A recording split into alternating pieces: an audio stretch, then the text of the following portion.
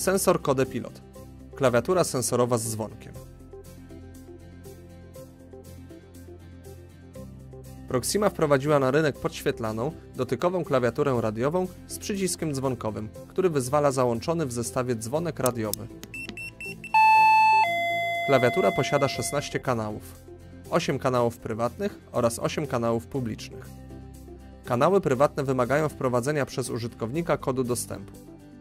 Przykładowo, jeżeli użytkownik posiada kod 1955 i chce uaktywnić kanał drugi, wybiera na klawiaturze cyfry 19552 i potwierdza wysłanie rozkazu kratką zwaną hashem. Kanały publiczne nie wymagają wprowadzenia kodu przez użytkownika.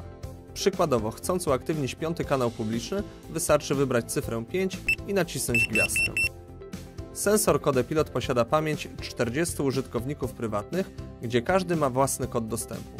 Użytkownik prywatny może sterować dowolną liczbą kanałów prywatnych. W sterowniku zastosowaliśmy niespotykaną w żadnej klawiaturze na rynku technologię long code. Co to znaczy? Jeżeli użytkownik uzna, że wprowadzanie kodu jest obserwowane przez osoby niepożądane, może on wprowadzać dowolnie długo przypadkowe cyfry zakończone swoim kodem wraz z numerem wjazdu. Czy udało się Państwu zapamiętać kod?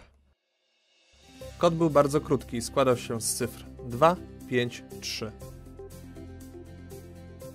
Sensor Code Pilot posiada wspomniany wcześniej przycisk dzwonkowy, którego naciśnięcie powoduje wysłanie sygnału radiowego, który załącza jedną z 30 melodyjek dzwonka radiowego DR30 o trzech poziomach głośności. Wszystkie ustawienia wprowadzane są przez specjalny kod administratora, który może nawet usunąć danego użytkownika prywatnego, mimo że nie zna jego kodu. Klawiatura może być wyprodukowana w wersji kompatybilnej z jednym z popularnych systemów kodowania. Więcej szczegółów u doradców handlowych oraz na proxima.pl.